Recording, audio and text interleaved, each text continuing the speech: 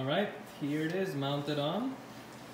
So this is where the air will go in and then it goes through the block here and then it gets spread out to all the valves that need air going into the cylinder and then all the other valves will send it coming out right here for exhaust. So let's see what happens now.